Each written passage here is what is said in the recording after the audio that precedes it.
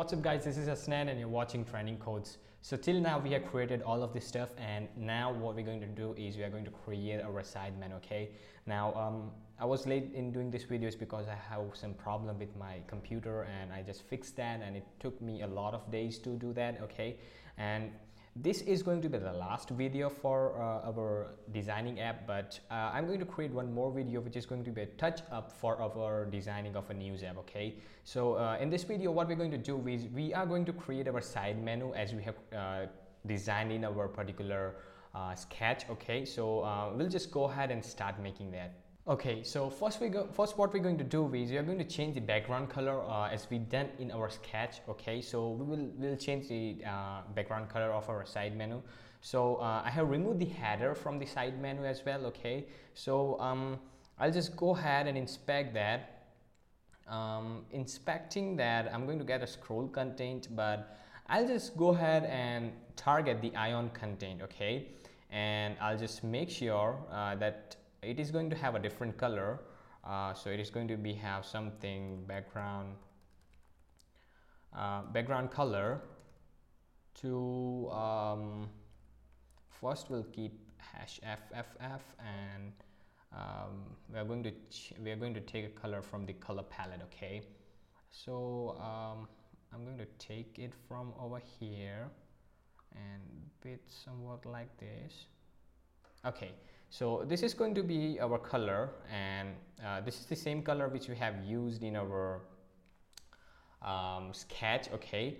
So um, first what we're going to do is we're going to go ahead and open up our um, Visual Studio Code and uh, open up your app.html file because if you want to design your um, side menu you should open the app.html file okay so open up the app.html file first and um, inside the uh, give a class to a ion content, okay? So uh, it, it will differ from our uh, other ion content. if we directly give an ion content, it's going to change the background color of all the ion content present inside our ionic app okay?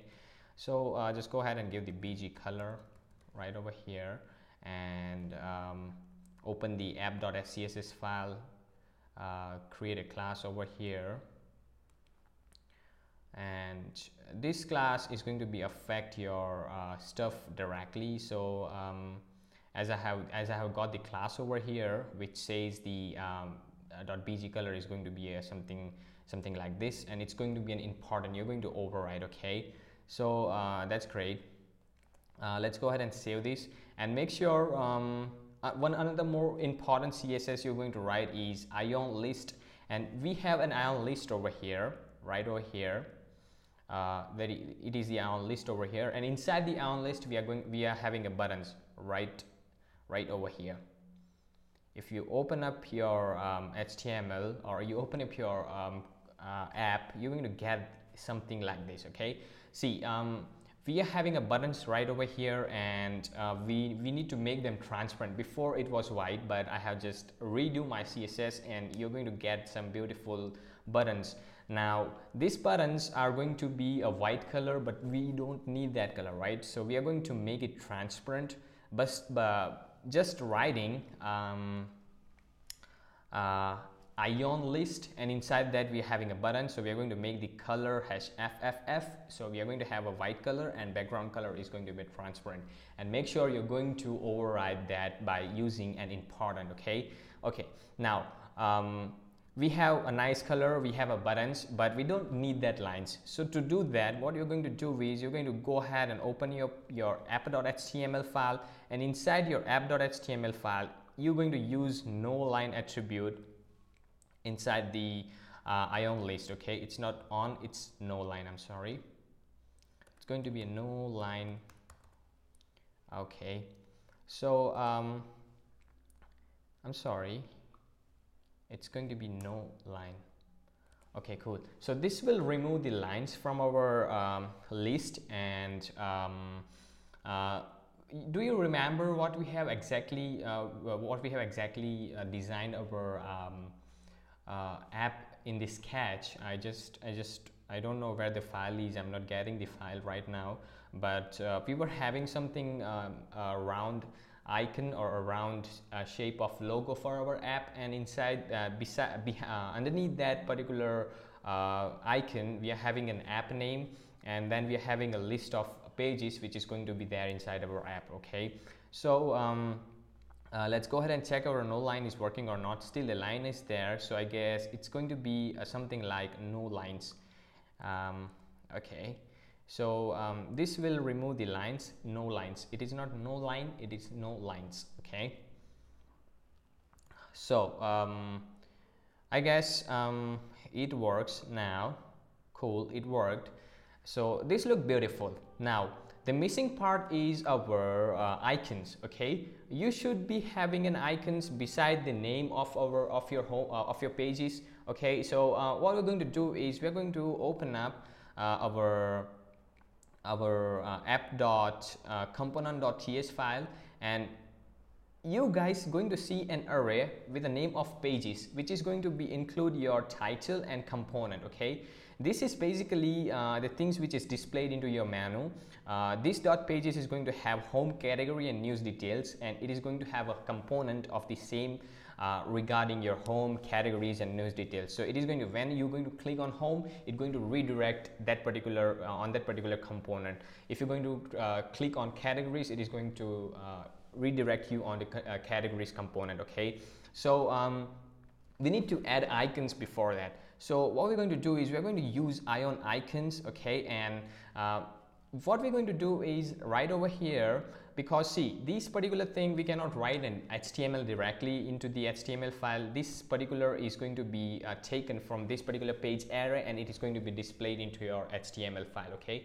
So if you take a look on your HTML file the name of the pages are going to be uh, are going to be read from your um, uh, this dot pages array see as you can see let p of pages and the p dot title. So they are taking the value from the component dot ts file right from this particular array. So what we're going to do is we are going to take the uh, we're going to do the same thing. We are going to give the name of our icons and we are going to read the icons from our uh, pages okay array. So uh, what I'll do is I'm going to create an icon uh, variable and it is going to be of type string.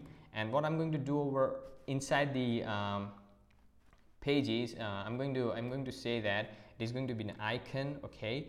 And um, the icon is having uh, some values like uh, the first icon is going to be have MD home okay? And in the same way uh, we're going to have different icons as per uh, as per as per our designs. So um, first is something like um, first it was I guess filing uh, yes. Second first was home second is filing. So um, filing. Mm, okay. Filing and uh, I guess copy.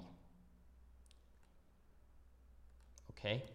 Now uh, we have uh, the icons name stored inside our pages uh, array. Now what we're going to do is we're going to create one HTML for uh, into your uh, HTML tag of ion icon and we are going to read that particular icons um, before before the buttons uh, or before the titles okay? So it is going to be displayed before the titles.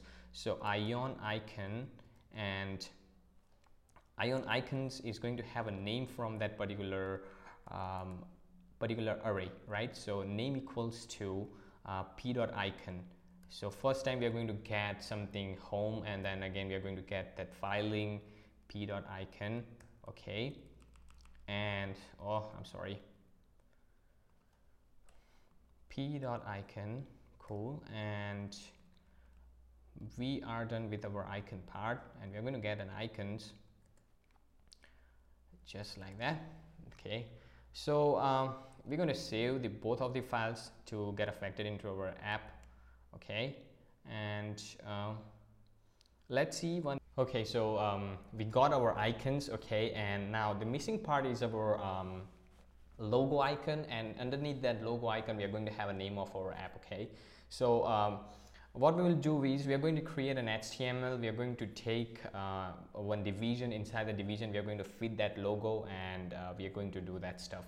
Okay so first what we're going to do Okay, so first what we're going to do is um, we are going to create one division and um, the division is going to have a class uh, with a name called uh, whatever whatever name you can uh, give it. But this particular uh, class is going to have a position of relative because we are going to make our icon to be have uh, to be to be uh, position absolute okay? And um, to make it center it's it is beautiful to make a absolute division to make center okay? So um, we are going to have a class I need to know the class name from the uh, okay. We're going to make the class of uh, called profile okay? Uh, dot profile right over here. Profile okay? And um, inside the profile we're going to have a profile image. So uh, do class equals to profile uh, img okay? And inside the div profile img we're going to have an img and it's going to have um, a source from something internet okay? So um, I'll just go ahead and copy and paste a link uh, which is saved in my notes.